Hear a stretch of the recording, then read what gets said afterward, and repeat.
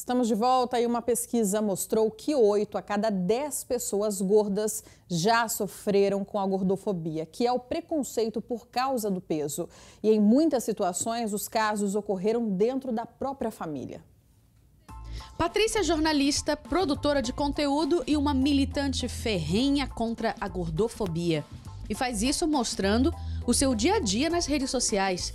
Sem amarras para vestir o que bem entender, falar sobre o assunto, Patrícia enfrenta um mundo pouco adaptado a corpos gordos, em uma sociedade que releva o preconceito contra os donos desses corpos. É um julgamento que envolve é, preguiça, pouca inteligência, é, é incapacidade, é, é, é uma coisa assim, sempre um julgamento muito negativo e ele é proporcional ao tamanho da pessoa.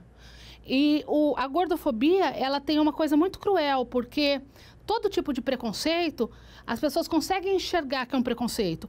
Porque a pessoa não tem culpa de ser de uma certa raça ou não tem culpa de ter uma certa deficiência, mas ela é vista como culpada pelo tamanho do corpo dela. Como ela responde ao preconceito contra a pessoa gorda? Da forma mais confiante, tirando o corpo da invisibilidade e trazendo para os holofotes um corpo que também precisa ser amado. Com a internet, com o Instagram, eu comecei a ver mulheres gordas, empoderadas, bonitas e eu admirava elas. E um dia eu falei, gente, elas parecem comigo. Eu também posso ser assim. E ao mesmo tempo que eu resolvi me inspirar, eu falei, eu também quero inspirar, para elas verem que o corpo delas também tem a sua beleza, também tem o direito de existir, de ser cuidado, de ser amado e de estar tá aí. São tantas percepções que só quem vive na pele sabe o quanto fere ser julgado pelo peso do corpo. E foi isso que a Sociedade de Metabologia e Endocrinologia quis saber ao divulgar uma pesquisa sobre obesidade e a gordofobia Percepções 2022. A pesquisa revelou o seguinte: que 85% das pessoas consideradas obesas já sofreram casos de gordofobia. E segundo a psicóloga, o preconceito vem de várias direções. Às vezes, vem do próprio obeso. É muito comum o próprio obeso se sentir uh, gordofóbico. Né? Então, ele tem uma grande dificuldade em lidar com o corpo dele, com o peso que ele tem, e por isso ele se restringe muito né? Começa a partir daí as suas dificuldades, tanto para ir comprar roupa, para sair de casa, para ir num evento social, para conviver em família, para arrumar um emprego. A quantidade de relatos de constrangimentos sofridos por pessoas obesas também veio à tona na pesquisa, que entrevistou mais de 3.600 pessoas em fevereiro deste ano.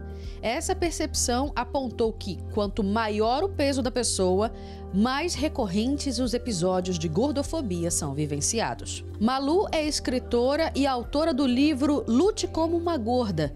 Ela ressalta que a luta é contra o preconceito lançado pelo formato do corpo e é uma lança dolorosa que a sociedade direciona às pessoas gordas. Hoje no Brasil somos 60% da população. Então, com certeza, ao seu redor tem alguma pessoa gorda para você repensar qual é o tratamento que você dispensa a ela. Ela está na família, ela está na escola, na universidade, nos relacionamentos, na vizinhança. Então, a gordofobia, é, o tempo todo, ela está mostrando que o meu corpo ele não pode existir.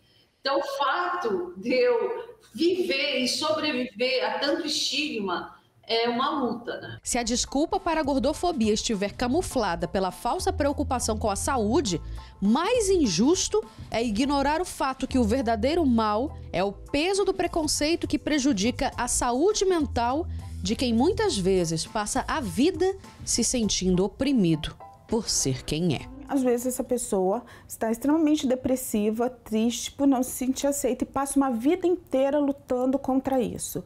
E para a mulher isso é sempre pior porque existe uma cobrança social. Por isso que os transtornos alimentares, como anorexia nervosa, bulimia nervosa, são infinitamente maior em mulheres do que em homens.